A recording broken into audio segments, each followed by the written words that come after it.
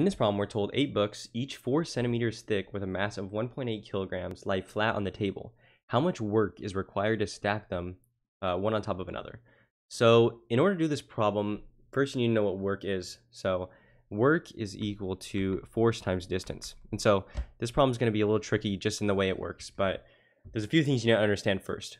So what is the force going to be acting on this problem here? So know that we're going to be stacking books on top of each other. So I drew one book here, but we're just going to be drawing, we're going to be stacking each book one at a time on top of each other like that.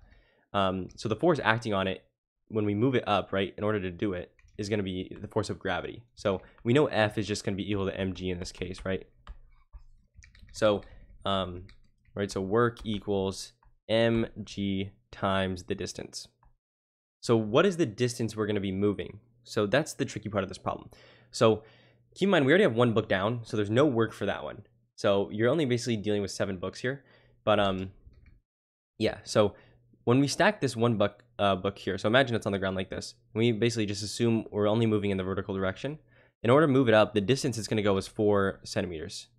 And so it's going to move four centimeters, right? And then to move this one, it's going to be four plus four and then move this one, it's going to be 4 plus 4 plus 4, right? So they're going to be stacking. So the way you want to do this is basically just treat the length you're going to be moving it as L, right? So you're going to move one up, it's going to be, so let's just start with the first book. So the first book is going to be equal to mg, and so instead of the, like the distance we're moving it for the first one to place it up here is L, okay?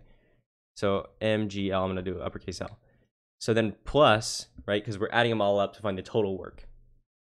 So move the second one, right, so we have this one here now, we're going to move it up here. So if this is L, this is also L, this little distance right here. So since it's just the length of the side of the book, so to move this one up, the distance we're moving up is 2L. So mg plus 2L. And then let's do the third one. So um, like this. So in order to move the next one, it's going to be 3L. And I hope you can just see the pattern repeating.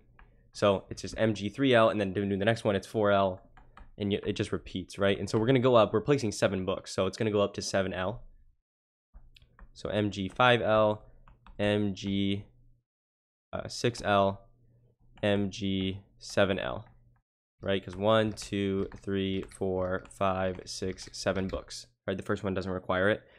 So if we add all these up, right? You can just add these like terms. It's going to be mg and then 1, 2, add these up, it's 28L. So that's going to be how much it is, right? It's just the mass times gravity times 28 times the length, right? So yeah, basically that, that was the hard part of the problem, just understanding that idea of how you could just simplify it to L and then you can just add them like this.